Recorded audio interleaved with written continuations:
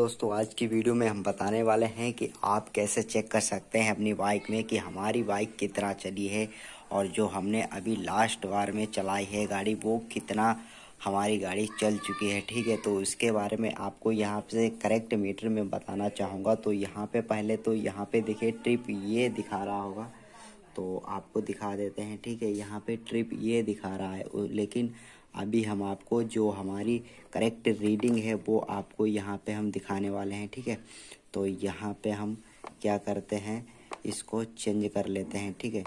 तो यहाँ पे जो हमारी गाड़ी अभी तक कुल कितना चली है, सोलह सौ किलोमीटर चल चुकी है हमारी गाड़ी, ठीक है?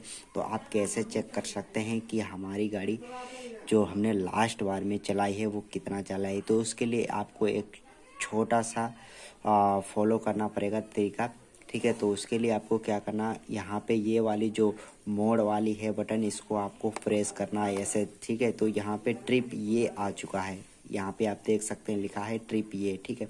जो ट्रिप ये पे आपको क्या करना है, ये ऐसे सेलेक्ट कर लेना है, उसके बाद में जो सेट वाला बटन है यहाँ पे, दूसरा या पाँचे में दो बटन होते हैं, ठीक है।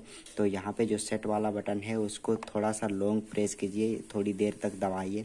जैसे थोड़ी देर तक दबाएँगे तो यहाँ पे जो लॉन्ग जो ट्रिप ये वाला है, वो सारे जितने भी किलोमीटर था, वो कट गया है ज़ीरो हो गया, ठीक है? तो इसको ज़ीरो करके आप गाड़ी जितनी भी ड्राइव करेंगे, जितने किलोमीटर, यहाँ पे शो होता जाएगा और ये आपका अलग ही रहेगा कि आपको पता चल जाएगा। जब आप गाड़ी ड्राइव करके आएँगे तो आपको पता चलेगा कि आज हमने गाड़ी कितने किलोमीटर ड्राइव की है या चलाई है। उसके बाद में अगर आप पीछे का ड्यूरेशन देखना है, पीछे का कितने किलोमीटर गाड़ी टोटल चली है, वो भी आपको यहाँ पे शो हो जाता है, ठीक है?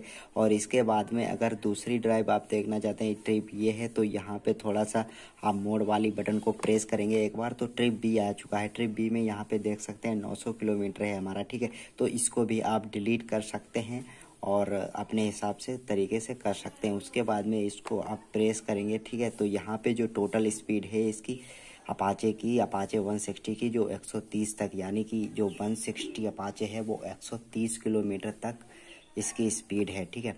उसके बाद में यहाँ पे हम फिर से करते हैं तो यहाँ पे जो स्पीड वगैरह है, वो यहाँ पे चेंज करने का थोड़ा बनाया गया है सिस्टम ठीक है? तो इसको हम फिर से प्रेस करते हैं मोड को तो यहाँ पे जो टोटल हमारी गाड़ी कितनी चल चुकी है, वो यहाँ पे शो कर रहा है, सोलह सौ सड़सठ किलोमीटर पॉइंट फाइव किलोमीटर, ठीक है?